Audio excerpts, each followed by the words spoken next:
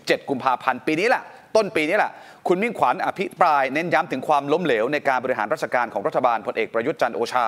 โดยครั้งนั้นคุณมิ่งขวัญอภิปรายตอนหนึ่งว่า ในรัฐบาลพลเอกประยุทธ์ทำให้เกิดนวัตกรรมสับขึ้นมาใหม่สองคำคำแรกคือคำว่างูเห่า ซึ่งจริงๆแล้วงูเห่ามีมานานแล้วนะ แต่คุณมิ่งขวัญวันนั้นบอกว่างูเห่าขึ้นมาใหม่คำที่สองคือคำว่าลิงกินกล้วย ผมบอกเลยว่าถ้าผมจะพูดเป็นภาษาชาวบ้าน ผมเกิดมาจากท้องพ่อท้องแม่ เพิ่งเข้าใจแสลงนี้ชัดเจน วันนี้สิ่งที่ผมจะพูดต่อไปก็คือ ผมขออภิปราย และไม่ไว้วางใจพลเอกประยุทธ์จันโอชาว่าท่านไปทำอะไร หรือให้ใครไปทำอะไรทำไมพวกเขาเหล่านั้นจึงเปลี่ยนจุดยืน ผมขอบอกไว้เลยว่าสัญญาที่ให้ไว้กับประชาชน ผมไม่สามารถทรยศได้สองปีเศษ ผมไม่มีความสุขกับการทำงาน